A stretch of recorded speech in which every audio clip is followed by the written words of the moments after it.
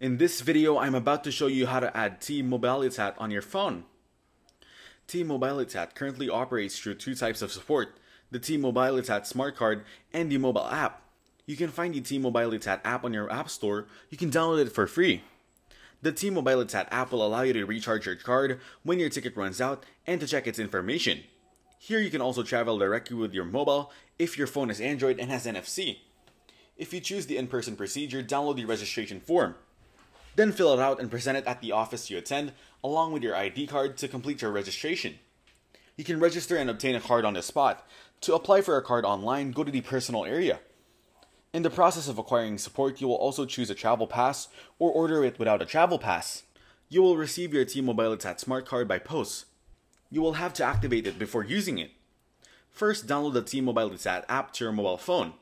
If you haven't signed up for T-Mobilitat yet, register from this website. Now enter your email address and password to access the personal area on the website and also to log into the app. After that, go to the mobile section in the app and from there download the extra feature. The mobile section of the menu will now be enabled and you can add travel pass to your e-wallet. Then pass your mobile phone by the contactless validator and off you go. You need to check the activation pin on this website by beginning a session in your personal area. You'll find the query button in the support management section. Make the switch to T-Mobilitat and sign up on this website.